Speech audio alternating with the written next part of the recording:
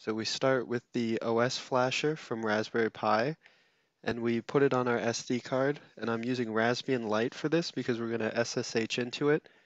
And the best way to do this is to use Notepad to create a file called SSH with no .txt or any sort of ending. To do this we use quotation marks, so quotation, SSH, quotation mark, and then once we have Raspbian on our card, we'll just unplug it, plug it back in, and then add the SSH to the boot folder. So here we'll unplug and then replug in.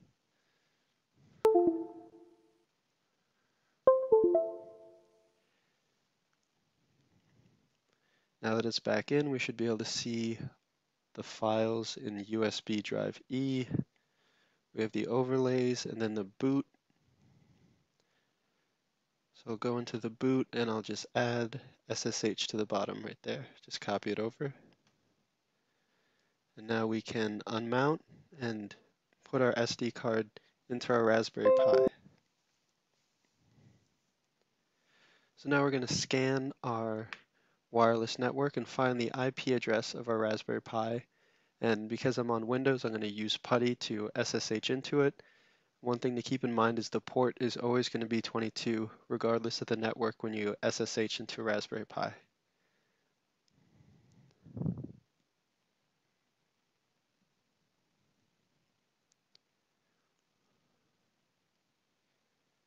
So we see Raspberry Pi FiOS router 192.168.1.205. So we'll put that IP address into PuTTY.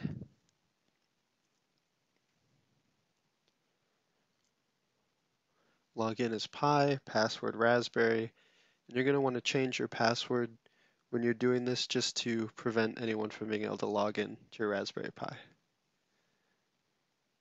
So start with an update just to make sure we have the newest packages.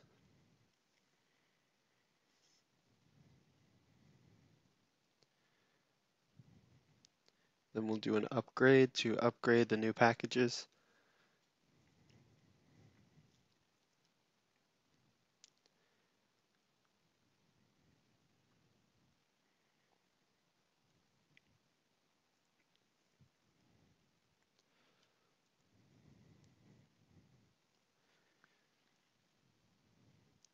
Now I'm just installing Vim because I feel like it's the uh, it's my favorite text editor. It makes editing the files a little bit easier than it would be to use Nano. So we'll let this load and then we'll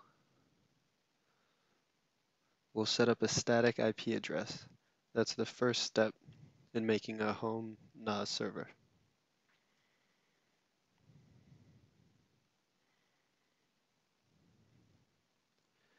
We'll do this by going sudo vim slash etc slash dhcp cd dot config, just conf.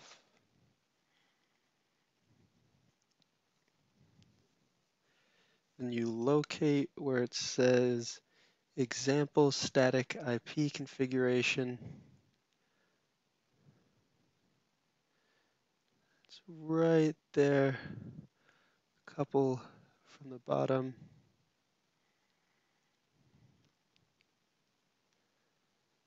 And just uncomment all the parts that do not relate to IPv6.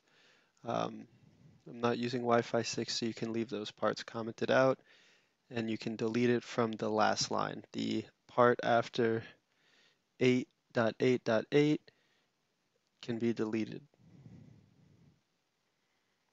Everything else gets uncommented. And you set the IP address that you want. I chose .233 as an ending. Then save it and exit.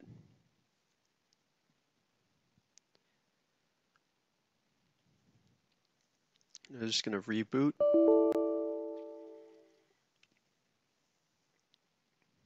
So now you can see the uh, IP address is picked up and we're able to SSH back into the Raspberry Pi using the new IP address.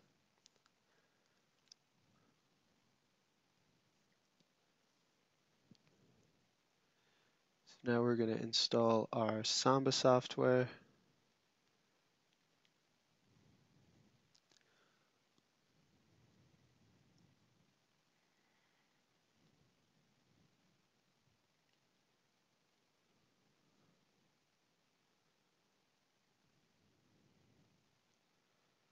Now it should be almost done. There we go. Just clear that, make it a little easier to see.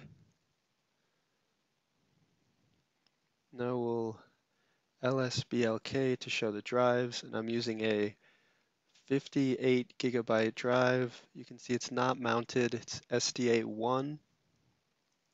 So what we're going to have to do is we're going to have to mount it.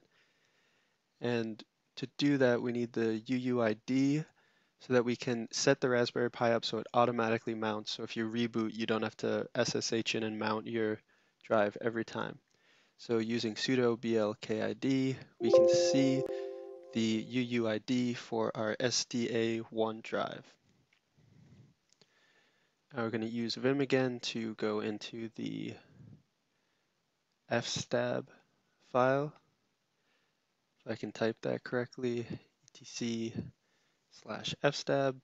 Now we're going to add the information for that drive at the bottom. In the UUID, copy it from the search we did, remove those quotation marks. Then we want to add the drive that we're going to use, and we're going to use slash cloud. And it'll be NFTS, NTFS, and um, add defaults, comma, auto, comma, users, comma, RW, comma, no fail, comma, UMask. equals 000, zero, space 0, space 0. And we'll save that guy.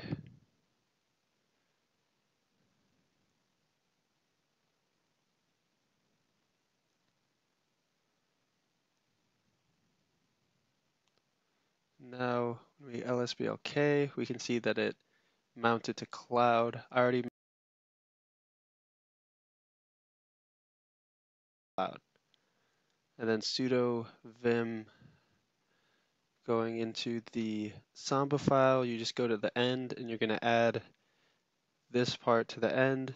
Just the only things that you'll change are the things in bracket and the comment and the cloud and the path. So your path will be what you named your folder.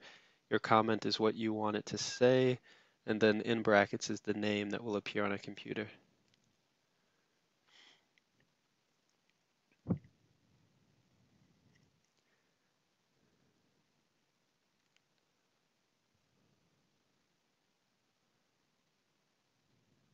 So now we're going to just restart of the Samba files. First one done, then just change SMBD to NMBD sudo SMB password dash a user. Oh, I got to uh, give a password. Do it again.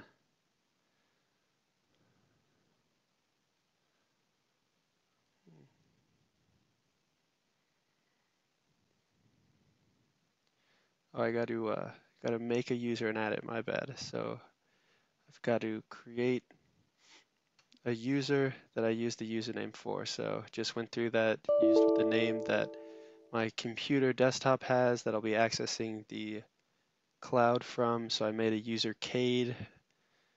Then I go in and I add a password for that user.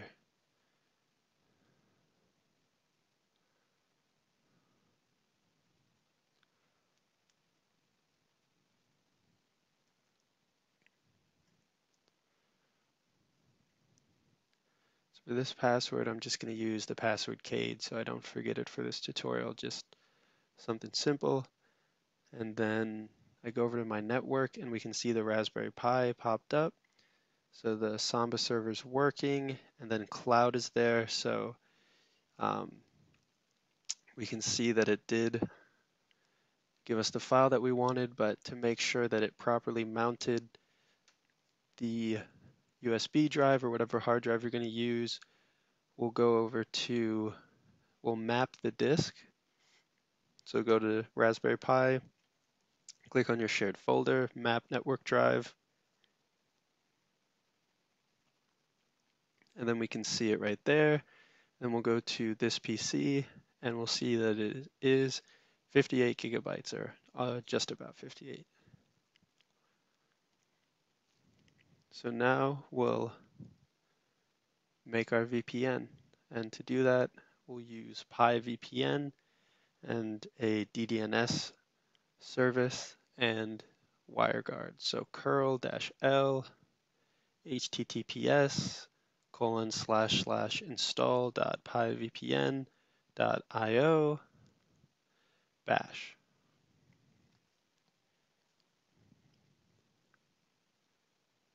All right, should be loading and then you'll get a blue screen that'll take you through the installation process. We'll wait for the blue screen and then we'll see you when that is done. All right, there we go. And now I use dynamic IP for this. So I'm going to block out my login information and my IP address and the name that I used for my DDNS, but it's fairly simple. You just go over to the dynamic DNS on the left of the page once you logged in, and for free, you get three DDNS um, websites that will track your home IP address and make sure it doesn't change. So you can do that with no charge. You just have to monthly confirm that you want them to keep doing it, which isn't too much of a hassle considering you're getting free cloud storage essentially. Then you're going to go into your modem, go into advanced settings, dynamic DNS, and then you just add one. It's very simple. You just put the name, the service, and then the user and password for your router. And then when it comes to port forwarding, you just select IP from menu. That'll be your Raspberry Pi. Select custom ports, both, and then the port that you want to forward. So it should be a little different on your router, but generally it's pretty user friendly. All right, so we'll just click through some of the menu options here. Then uh, for here, just answer no, yes, yes, okay. Then you use the space bar to move the little star asterisk. So I'm going to use this under CADE because that's the name of the user that accesses the Samba file. Let that load. Going to use WireGuard here. So just going to hit enter on this guy. And then this is the port that I'm forwarding.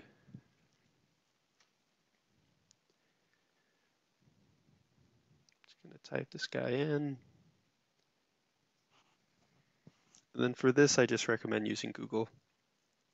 Then we'll put a manual DNS entry in. And that is the name that you chose and used on your router. So like whatever you decided for that. And it's recommended to enable unattended updates just to keep everything secure and safe should there be any updates. So I advise choosing that. All right, so we just run PiVPN add, and then we'll add different users, different devices that will be able to access this. And I chose WireGuard because it seemed much better for mobile devices, just a bit faster.